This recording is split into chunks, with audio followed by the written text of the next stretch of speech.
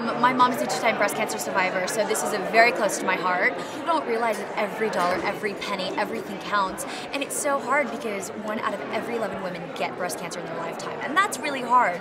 I mean, as young as 17, and you know, I'm 23, and so for me, it's a constant in my mind, and guys don't know that guys can get breast cancer as well. And so a lot of people are like, oh, it's pink, you know, it's breast cancer. No, guys have boobies too.